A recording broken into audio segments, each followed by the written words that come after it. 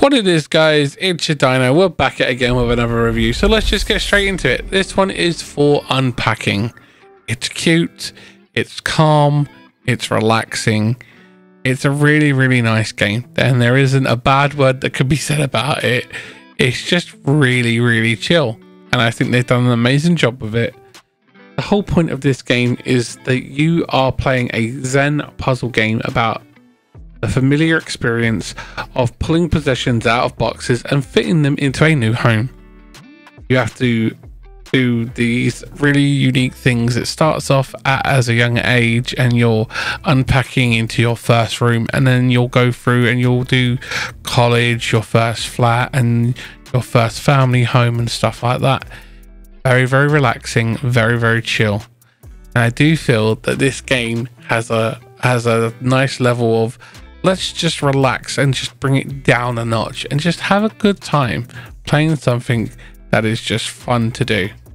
And I feel that it's just um, an amazing piece of work that allows you to just relax and just have a good time. And it's really nice. And I definitely recommend that people give this game a try because if you don't give it a try, you'll never know and they've done a really good job with it. So don't forget to dino smash the like button as well, guys. I really do appreciate all the likes and the shares and the comments that you guys are leaving, and I'm I'm really blown away by the love and support that you guys have been giving lately on the channel. Thank you for that. So it's really really nice, and I do like it. The little art style is nice. It's really really easy to use on the controller.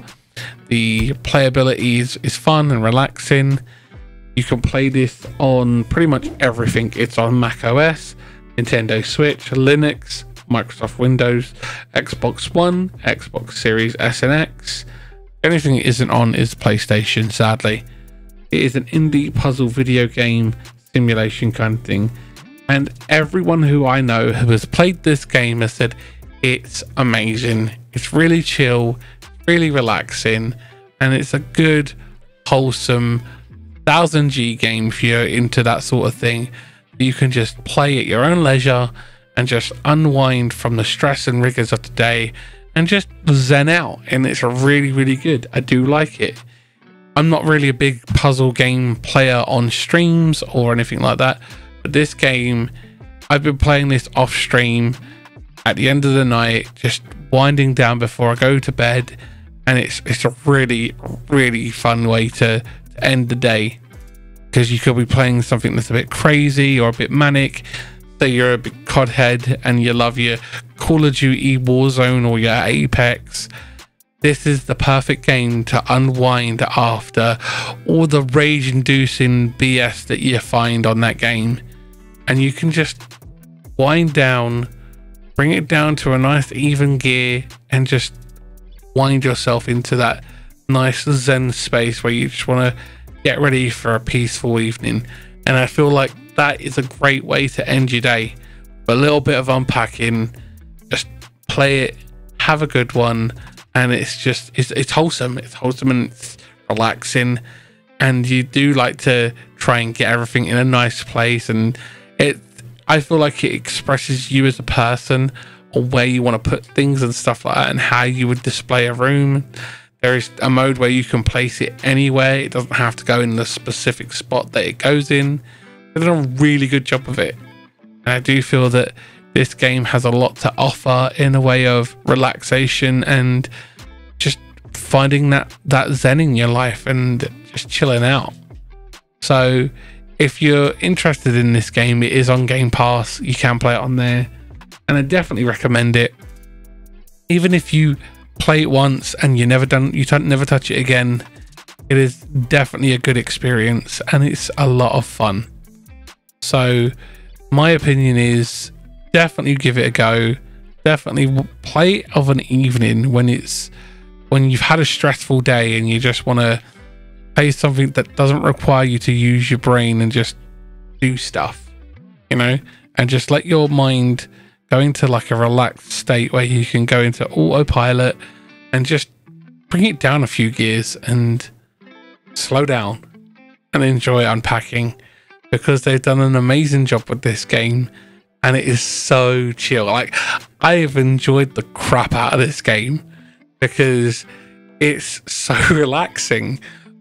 Because life is always like wow and crazy, and you can play this one and it's really really cool. And definitely recommend playing Unpacking.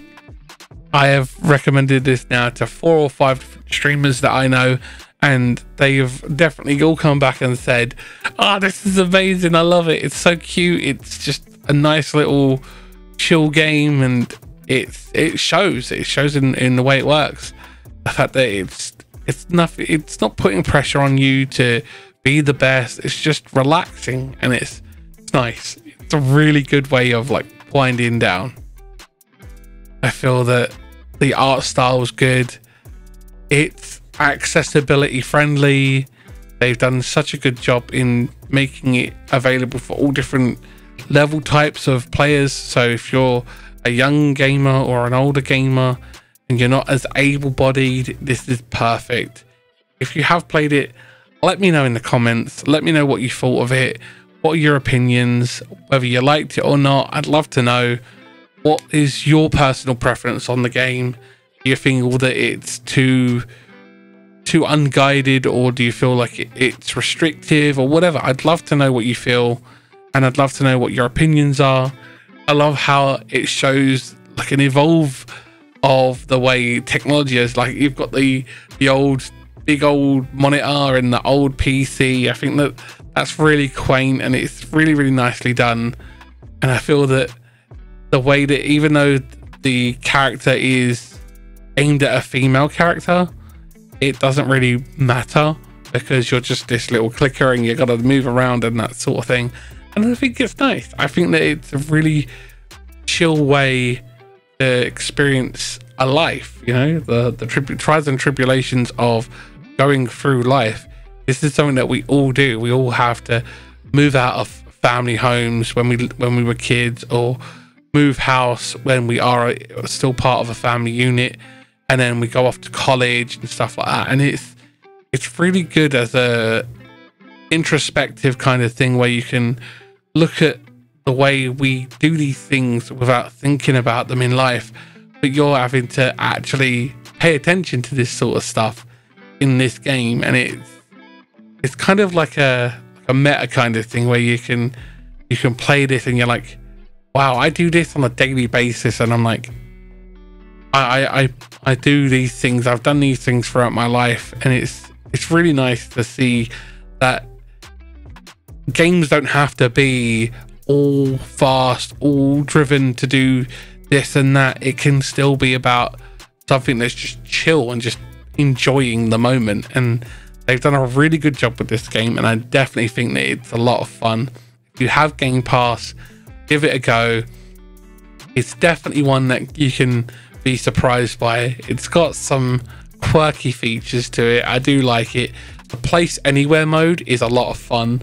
You could place things in really odd places and like I put the frying pan in the refrigerator and stuff like that in one of the later levels just to experience play any place anywhere mode and it's really really good and um, I'm enjoying doing these like indie games a lot as well because these games aren't expecting a lot out of what they're offering. They're like, we know what we've designed and we know it may not be for everyone, but it's a market that we've aimed at and they've done a really good job of it. And I feel like this game is amazing. It's a it's an absolute gem. Check it out, give it a go. Let me know what you think about it, guys. Thanks for watching.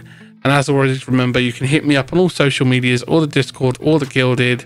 Thanks for watching, and I'll see you in the next one. Bye, guys.